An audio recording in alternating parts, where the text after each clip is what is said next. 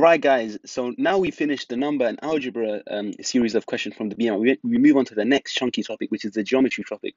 Again, as with the number and algebra, guys, these come up every single year. So it's really important that you're um, aware of the concepts and you're aware of how to answer some of these uh, difficult questions. But without further ado, guys, let's get straight onto the questions. So it says, uh, question 24, BMAT 2019. I remember, guys, this is actually quite a difficult one. This one, this one should have a star there. So let's just put that star there, actually. So this is a warning, guys. And then it says uh, a cross-country uh, running track uh, is in the shape of a regular pentagon.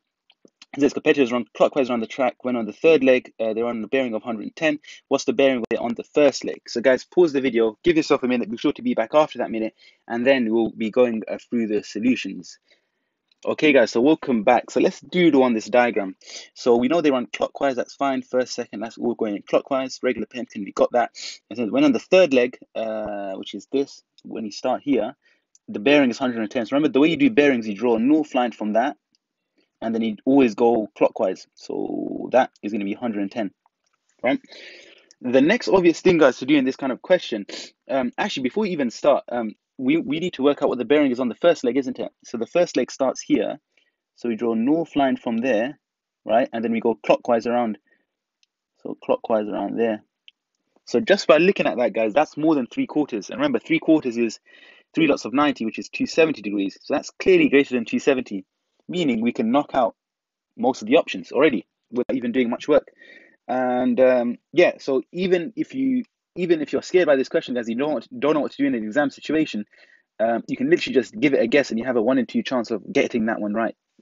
But the next obvious thing, guys, to do if you want to do it the legit way is um, work out the exterior angle. So what we mean by exterior angle is this angle here. So you draw, you, you, you continue on the line from one of the sides, and the angle it makes with the next side is the um, exterior angle. And the way you find the exterior angle, you just do 360 divided by the number of sides, which is 5 here. And then to work this out, times top by 2, so 720 over 10. So that, guys, you're going to get 72. So this angle is 72. And since the as you can see, the interior angle makes a straight line with the exterior angle. Um, the angle there for the interior angle is going to be 180 minus 72, which is basically 108. And all the interior angles are the same. But I want to focus on this interior angle, which is going to be 108. Right? Now, the next obvious thing to do, guys, just by looking at this, is obviously to work out this angle here. Because that then forms a circle, isn't it? And 30, uh, in a circle, the angles add up to 360. So 110 plus 108 is going to be 218. And you just do 360 minus that, and if you do that, uh, you'll get 42, 142. So you're going to get 142 here. Now, the next thing I'd like to do, guys, is draw another. This is a cheeky uh, uh, step. You draw another north line there. And then whenever you have this situation where you kind of have like two vertical lines like that, and that you're joining them, and then you have one of them and you want to work out this other one, um, you can. This is actually quite common in the BMI. You could use a technique where basically both the angles just have to add up to uh, 180. So if that one's 142, this one is going to be um, 38, I think. Yep, 38 is going to be the angle there, right? So hopefully um, that's all making sense, guys, so far. Now, the next thing I'd like to do is something super cheeky again. So this is kind of bent so I'm kind of going to do that. The, another problem with this question, guys, is that the angle is so small. It's kind of easy to miss out some of the, some of the steps.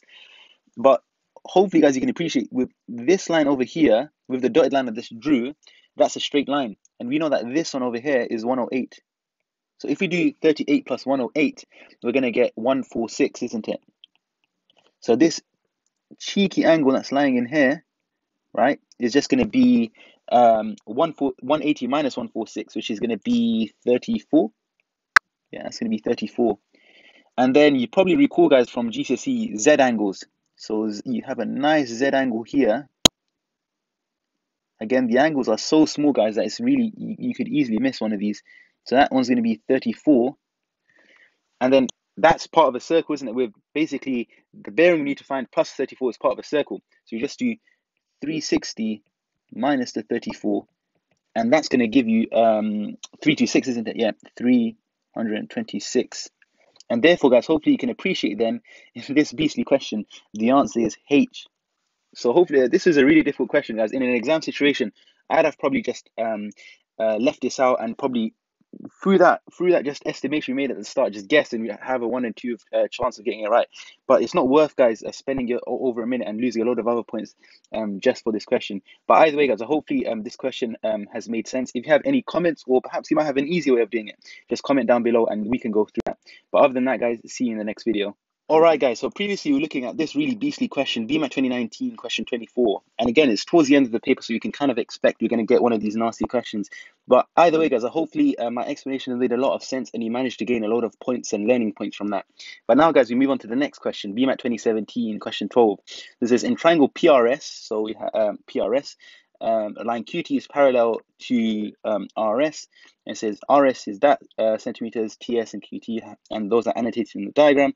And it says what's the length of PS. So guys, pause the video, give yourself a minute. Be sure to be back after that minute where we're gonna go over the solution. Okay, guys, so welcome back. So what they want us to do in this question um, is to work out this length over here, um, P to S.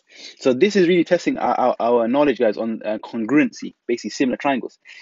So if I draw the uh, triangle PRS, the big triangle, we're going to get something like this. So that's going to be P and R and S. And then if I call now, guys, this side X, I'm going to call this side X for the time being. Uh, P to S will be 1.8 plus X, and R to S, we know it's 1.5. Then if we get the smaller triangle over here, which is basically the same as that, but just shrunk down, we have now uh, PT. So this is going to be PTQ. PT is going to be X, and this is going to be uh, 0.3, right? And then obviously QT and RS are the same thing, or they match basically in terms of congruency, and this and this match. So that basically means that um, obviously to get from here to here, you just times by a times by a scale factor a question mark. That's going to be the same question mark. So the scale factor for RS to QT is going to be 1.5 divided by 0.3. And the scale factor um, between TS and PT, which is going to be the same as that score, uh, 1.5 over 0.3, that's going to be 1.8 plus x over x, right? And if you just do some rearranging here, so 1.5 divided by 0.3, that would go in five times. So 5 equals 1.8 plus x over x. And just solving for this, 5x equals 1.8 plus x, 4x equals 1.8. And then x is just 1.8 halved, which is 0 0.9, and then halve, halve that again, which is going to be 0 0.45. Therefore, guys, the answer, hopefully you can understand then, that the answer here would be C. So hopefully, guys, I hope that question has made a lot of sense. And as always, really look forward to seeing you in the next video. All right, guys. So previously, we are looking at this question, BMAT 2017 question 12, um, to do with congruency. Hopefully, guys, if you didn't practice this topic before, hopefully um, it's bringing back um, memories of when you did do this topic of congruency. I hope, either way, guys, I hope you uh, learned a lot from this question. It's really a good question to go back to that um, topic of congruency. But without further ado, guys, let's move on to the next uh, BMAT 2016 question 16. So it says, um, uh, the diagram shows quadrilateral PQRS. It says given that tan theta is 4 over 3, uh, what's the area of the quadrilateral uh, PQRS? So guys, pause the video, give yourself a minute. Be sure to be back after that minute where we're going to um, go over this question. Okay, guys, welcome back. So let's go through this. So we know that tan theta is 4 over 3. And really, th th the place where you see this kind of stuff, um, this is really referring to SOHCAHTOA. The place you really see this, this kind of stuff is in a right angle triangle. So you need to form a right angle triangle here. So right there. And then you obviously have your nice right angle there. And remember SOHCAHTOA. So so, so sine is opposite over hypotenuse, cos is adjacent over hypotenuse, and tan equals opposite over adjacent. Right? So then according to that angle, this is the opposite this is the adjacent then, and that's the hypotenuse. Remember, the hypotenuse is just the side opposite the right angle. So, boom. Right, and the opposite is the one opposite the angle you're considering, and the adjacent is just the one that's left over. Right? And then we know that tan theta is um, opposite over adjacent. So that must mean the 4 must be the opposite, and the 3 must be um, the adjacent. Um, okay, so we know we, we know that so far, but according to the diagram, right, according to the diagram, um, this side is 5, right? So you would think, for example, the opposite then was 4 and this was 3, isn't it? So then when you do tan theta, you're going to get opposite, which is 4, over adjacent, which is 3. But just by looking at this, this length over here uh, is is definitely far greater than the 5 over here. And if we use that, that's suggesting that that's 4 and that's 5, which can't be the case. So this is actually a trick. The likelihood is that it's actually, this is probably 8, right? And then this is um, likely 6. And if you do opposite of adjacent with 8 over 6, you basically end up with 4 over 3 anyway, because it's just more of a ratio thing. Whereas we know for, for a fact it can't be 3 times. You know it can't be 12 because that length is definitely not greater than PS, which is 11. So we know it can't be 12. So it must be 8 and 6. Okay, um, so we know that. So this is just basically a compound shape. So you could work out the area of the triangle, which is going to be base times height divided by 2. So 6 times 8 over 2. So that's going to be 6, 12, 24, and then double that. 48 divided by 2, which is going to be 24. Right, so we have that, and then we, we, we can just work out what the area is uh, then of that um, rectangle. So if that length, if the adjacent is 6, so if from here to here it's 6, the leftover part must be 5. So this must be 5. Actually, we kind of already knew that from, from above. And this really just um, consolidates the idea that that length must have been 6. And then since these two sides are basically opposite each other, this is going to be 8 then. So the area of that rectangle is just going to be 40. And since it's a compound shape, you just have to add the areas together. So you do the 24 plus the 40, and then you're going to get 64. So hopefully, guys, you can appreciate that in this question, the answer would be therefore uh, C. So again, uh, really hope that was useful, guys, going over this idea of compound shapes and SOHCAHTOA, revisiting those topics. And as always, guys, we look forward to seeing you in the next video. All right, guys, so previously looked at this question, BMAT 2016, question 16, um, really visiting the topics of SOHCAHTOA, compound shapes, and that sort of jazz. But hopefully, guys, that question has made a load of sense. But now, guys, we move on to the next question, BMAT 2015, question 8. It says PQR is an isosceles triangle which PQ equals PR, which is 6, and QR is 8. It says, what's the value of tangent uh, of angle PQR? So guys, pause the video, give yourself a minute, be sure to be back after that minute, and then we'll be going through the solution. Okay guys, so with these kind of geometry questions, or most geometry questions, as you've seen in the previous questions as well, it's really important that you draw out what's going on so you can really visualize and solve the problem uh, much more easily. So here we have an isosceles triangle, so let's first uh, start by drawing that. So let's just say somewhat like this. Right, and then in this um, isosceles triangle, um, we have its P, Q, and R, and we know PQ and PR is both 6, and the remaining one, QR, is 8. And they want us to work at the angle of angle, they want to work at the tangent of angle PQR, so PQR, so that's going to be this one here, so PQR, yeah. So the so when you want to work at tangents, um, uh, like obviously that you you know that there there's rules out there when you when you don't uh, have to really work with. Uh, I think it yeah th- there were I remember there were rules uh, where you can use where you don't have to work with right angle triangles, but most of those rules for like the sine rule, um, the cos rule, and the tan rule, uh, most of those if not all of those, basically require a calculator. And obviously, you don't have access to a calculator in the BMAT. So whenever you see them trying to ask you to work out tan of something, sine of something, cos of something is all going to be centered around a right angle triangle. So from this, we need to create a right angle triangle. And I can do that by splitting the triangle around the middle in half. Get the right angle, and this side is going to be basically half, isn't it? It's going to be four. And then obviously this that's six. And um, if we really wanted to, I can work out um, what this remaining uh, side over there is by using Pythagoras. Because uh, remember, um, so if I just call this x, so I can just say x squared plus 4 squared equals uh, 6 or alternatively x is just and then rearrange and find x or basically x is just going to be the square root of 6 squared so the bigger side squared but um but since it's not the bigger side now I have to do minus the other side so 4 squared and then square root that so that's going to be the square root of 36 minus 16 right which is going to be the square root of uh, 20 which is the square root of 5 square root of 4 which is 2 root 5 basically. So that's going to be 2, this guy over here is going to be 2 root 5. And then obviously what we know is that tan theta then, tan theta is going to be opposite. So the side opposite is going to be this.